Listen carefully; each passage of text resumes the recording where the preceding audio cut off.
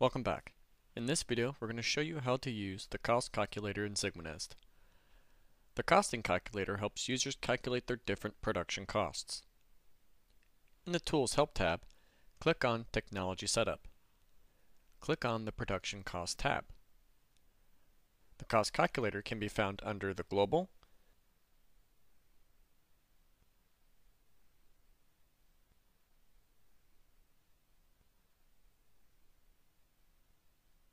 machine, or machine detail sections of the production costs.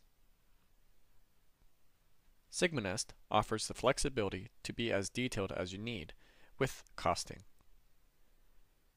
In this example, we will edit one of our machine cutting costs on the machine level. Under the Value section, an ellipse icon will appear.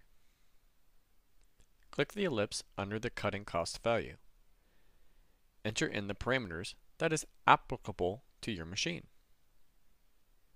Click OK to apply the settings. Next, go into the operating costs. Fill this out to generate the appropriate cost of the machine's operation cost. Finally, go into the pierce cost. Enter in the cost of the consumable for this machine and number of pierces it will go through. Click OK to generate the cost. Under the Cost Model tab, users can decide where to pull the costing values from. In this example, we only want to generate costs from the machine level. Click OK to exit Tech Setup. Now create a new part.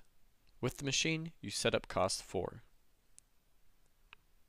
The Cost tab will now reflect an accurate machine cost.